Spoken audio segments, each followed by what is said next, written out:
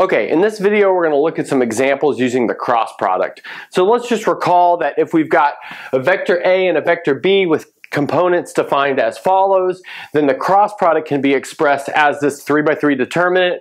The first row is our unit basis vectors i, j, k. The second row is A, and the third row is vector B. And then the big thing here is that our vector A is orthogonal to A cross B, so when we dot product them we get zero, and the same thing with vector B. And also, uh, the area of a parallelogram defined by A and B is given by the magnitude of A cross B. And furthermore, you can use that to find the area of a triangle defined by A and B by taking half of that area. So this first example we want to look at says the following. So we want to determine a vector of magnitude 5 that is orthogonal to a plane containing the y-axis and this point A, which is minus 3, 1, and 5. Okay, good. So uh, let's draw a picture of this maybe. Okay, so here we, here's what we've got for our picture. So we have the y-axis. This is the x-axis and the z-axis, but I've labeled the y-axis. And then our point A, which is negative 3, 1, 5. So that's like negative 3 back in the negative x-axis, 1 in the y-axis, and then 5 up. And so we know that our plane is going to contain this entire axis and this point. So what that tells you is that any vector that's pointing along the y-axis will be parallel to the plane. So let's maybe call this vector v, and notice v could be taken just to be 0, 1, 0, which is also the unit basis vector j, and notice that v is parallel to the plane. And also, if we draw a vector from the origin up to A, that vector is also going to be in the plane as well. And we know that because the origin is in the plane, because the plane contains the y-axis and the y-axis contains the origin, and A is in the plane. And then any two points in the plane, the line between them is also in the plane. So that means this vector, maybe we'll call it W, which is going to be equal to the vector version of this point, minus 3, 1, 5, is also going to be in the plane. Or I should say parallel to the plane. Okay, good. So, again, let's reiterate.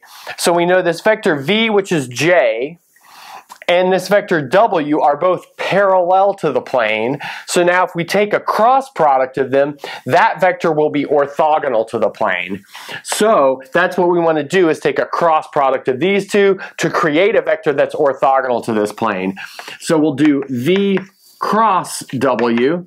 So notice that's going to be so we'll use our uh, matrix determinant version of the cross product. So we've got i, j, k, and then we have 0, 1, 0 for vector v, and then minus 3, 1, 5 for vector w. Great, and now we'll do a so-called cofactor expansion. In other words, we'll expand along the first row in the first column. So that means in the i direction, we have, this is uh, 1 times 5 minus 0 times 1, so that is 5 in the i direction. Okay, now if we do the same thing along the second column and the first row, so that means in the j direction, remember there's a minus sign built into this, we have 0 times 5 minus 0 times negative 3, so that's just 0. Good. And then finally, in the k direction, which is what we get from crossing like that. We're going to have, so let's see what that is. So that has a plus sign built in. And now we're going to have 0 times 1 minus 1 times negative 3, so that's going to be 3. So notice that's going to turn into the vector 5, 0, 3. Great.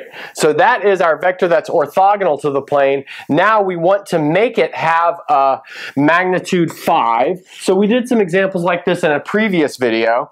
So I'll just write it down and then uh, I'll talk through it. So what we want to do is take 5 over the magnitude of this vector. So notice the magnitude of that vector is the square root of 5 squared plus 3 squared. So that is 25 plus uh, 9, so that is, let's see, 34, and then times our vector, 503. So let's just recall what that does. So putting a 1 over 34 times our vector turns it into a unit vector. In other words, a vector of length 1. Then multiplying it by 5 makes it a vector of length 5. Now you could bring that inside if you wanted to, and that would give you, let's see, 25 over root 34, 0, 15 over root 34. Good. But now this vector is not unique. Notice it says determine a vector of magnitude 5. We could have one that's also pointing in the opposite direction. So we could have plus or minus each of these, which uh, starts from having a plus or minus 5 there. And that gives us one vector pointing in one direction that satisfies our rule and one pointing in the other direction. Okay, I'll clean up the board and then we will look at another example.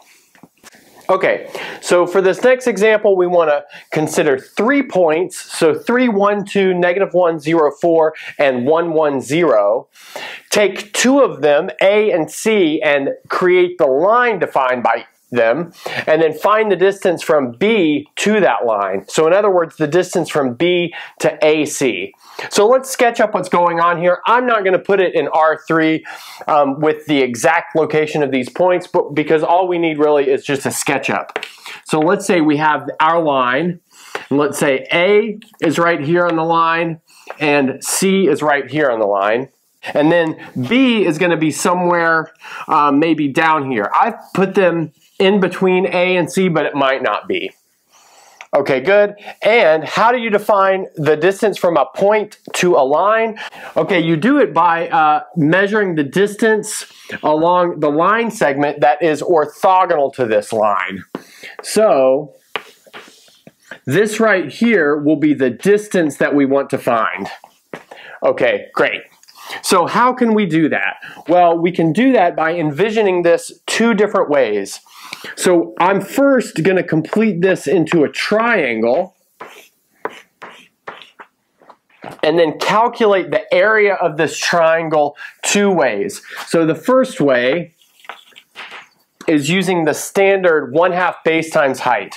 So we'll do 1 half uh, base times the height, but that's going to be 1 half. And then since I've written my d like this, uh, my base is going to be the distance from A to C, which is also the length of the vector AC times the height, but that's just uh, this number d.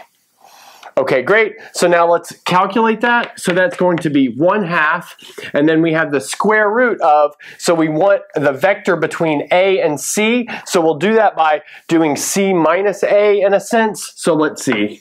That gives us 1 minus 3 is negative 2, 1 minus 1 is 0, and 0 minus 2 is 2.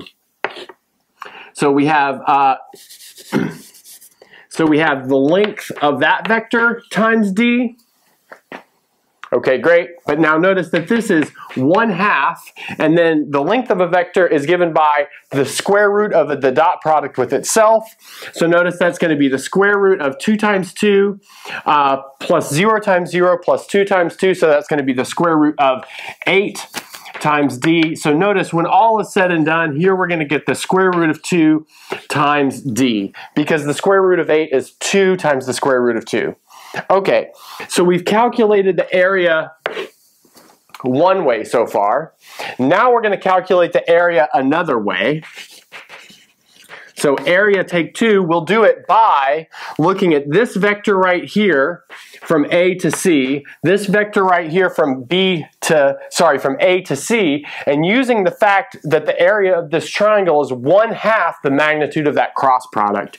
So this is going to be one half then the magnitude of the cross product of the vector from A to C with uh, the vector from A to B.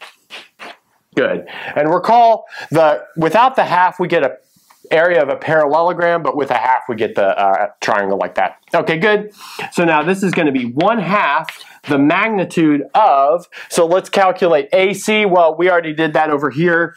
So that's going to be minus 2 0, 2, cross, and now we need a, b, so that would be like b minus a. So notice here we're going to get minus 4 in the first component, we'll get minus 1 in the second component, and we'll get 2 in the third component. Okay, so we have something like that.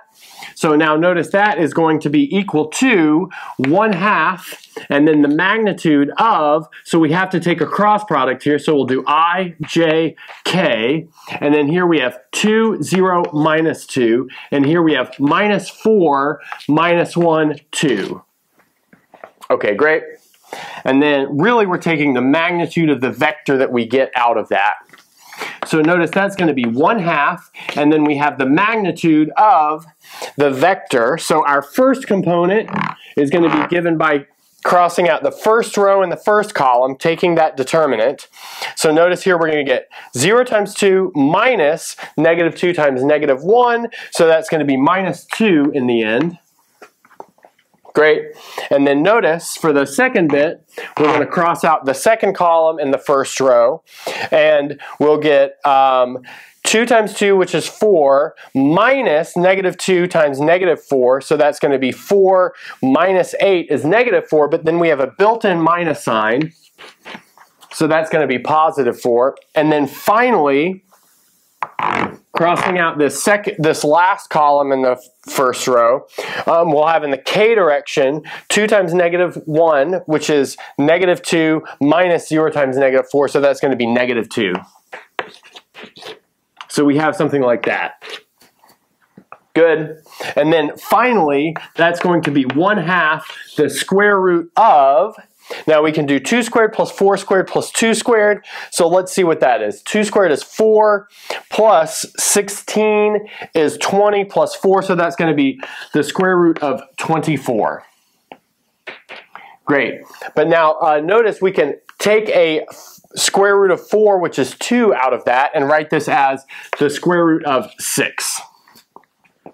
Okay, fantastic. Now putting these two things together, we get d times the square root of 2 equals the square root of 6. So in the end, which I'll fit up here, we'll have d equals the square root of 6 divided by the square root of 2, which you can check that's just the square root of 3. Okay, good. So that's the end of this example um, and the end of this video.